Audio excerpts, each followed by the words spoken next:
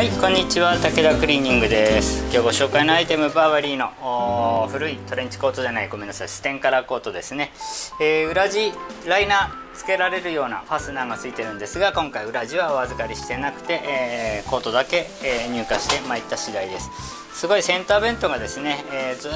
と上の方までタグの上の方までここまで、えついててずっとね、えセンターベントになっててかなり身幅の大きいいい感じになっております。素材はですね綿とポリエステル化学繊維の混紡素材になっていて半分ぐらいずつになってるかな。51%コットンの49%ポリエステルになっております。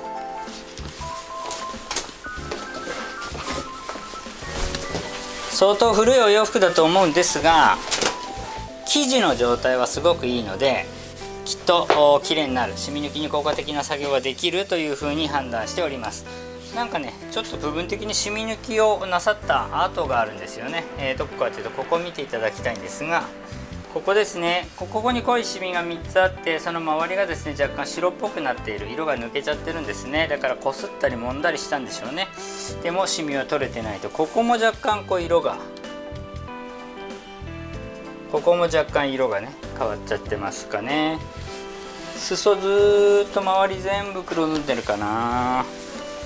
とこの辺もね全部こう汚れてる感じがいたします。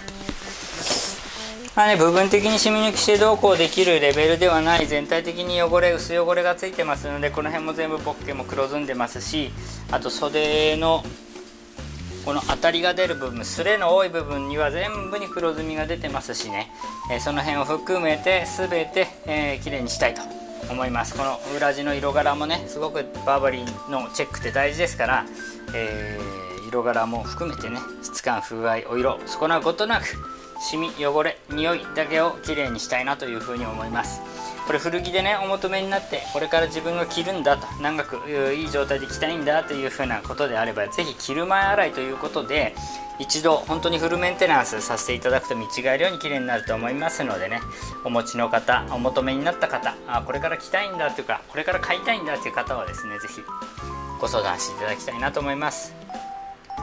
はいそれじゃあ綺麗にしてみましょう。はい仕上がりです。えっ、ー、とねフルメンテナンスをさせていただきました。もうね、えー、染み抜きに効果的だなと思うこと全体の汚れを取れるだろうなと思うこと全部させていただいております。もうね、えー、何も気にすることなく快適に着ていただけるんじゃないかなと思いますね。あとまずねこの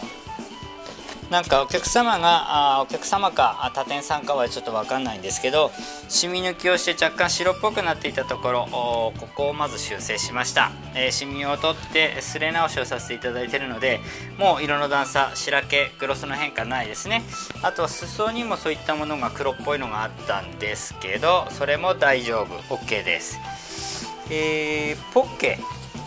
ポッケのはいはいポッケのこの黒ずみね。黒ずみ綺麗になってるのとあとは袖。袖のここの黒ずみも綺麗になっていますね。あとは裏地の色柄しっかりと保っております。大丈夫です。